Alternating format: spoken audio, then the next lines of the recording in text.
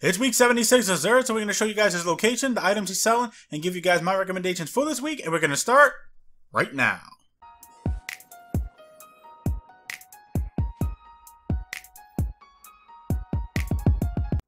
What's up guys, Reckless here, welcome to Guardian Watcher. So, it is week 76 of Xur, but before we get into the video, if you haven't already entered into the Destiny 2 Forsaken annual pass giveaway for the month of March 2019, then click on the link in the description box below for your chance to win.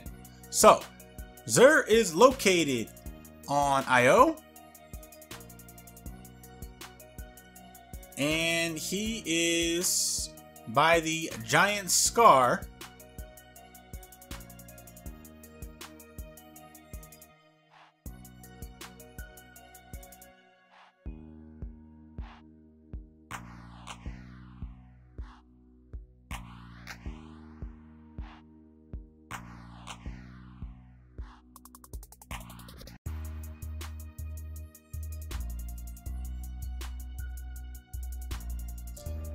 Xur! What's up, dude?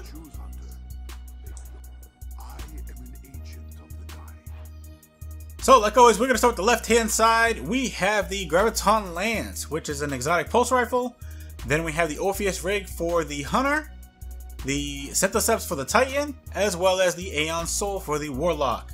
We're going to go ahead and start with the left-hand side with the Graviton Lance. And trying to perk on this is Black Hole, which uh, second shot in burst does high damage.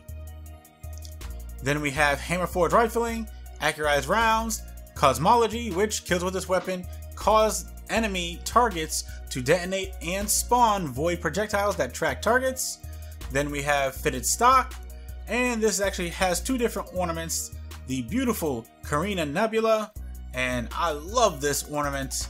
And the other one is the Particle Accelerator but these ornaments do not come with the weapon. Now, this is a pretty good uh, exotic in PvE and PvP. Uh, probably better now in PvE than it was in PvP because as soon as the uh, Luna's Howl came out, that pretty much took the meta.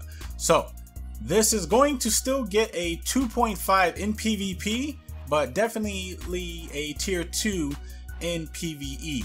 Now, if you guys want to know the tier scale, it will be down in the description box below. Next, we have the Orpheus rig for the Hunter. And to perk on this is Uncanny Arrows, which grants Deadfall in Mobius Quiver energy.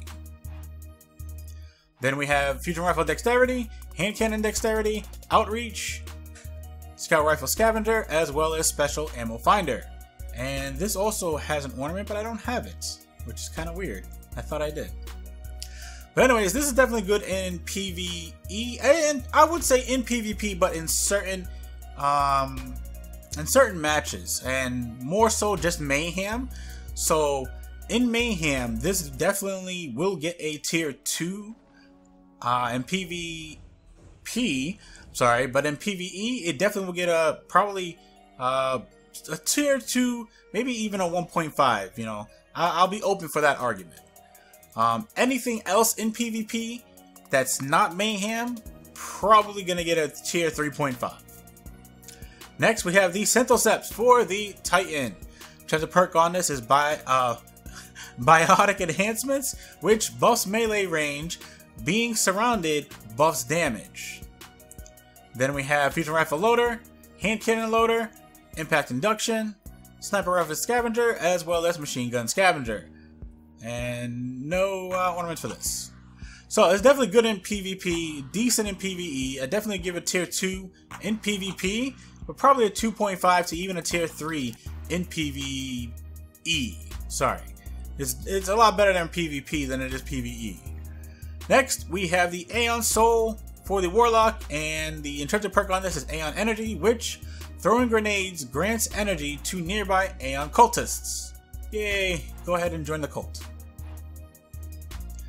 Then we have Fusion Rifle Loader, Hand Cannon Loader, Impact Induction, Sniper Rifle Scavenger, as well as Machine Gun Scavenger. And still no ornaments for these. Do not waste your time. This is definitely a tier 4 in PvE and PvP. Nobody is ever going to use Aeon Cultists unless they are trying to do a raid or trying to prove something in like PvP. Like nobody uses Aeon like exotics at all. Next, we have your consumables, which is your Five of Swords. Go ahead and pick this up if you do not have one for your Nightfall uh, challenge card, as well as the wonderful Fated Engram that's still in will never sell Forsaken Exotics. And that, my friends, brings us to the end of the video. If you enjoyed this video, feel free to watch these videos as well. You never know, you just might like them. And if you do, leave a like, share them, and then come back for more, because you know you want to. Thank you guys for watching, and remember, less guns doesn't mean less crime. And I will see you guys next time.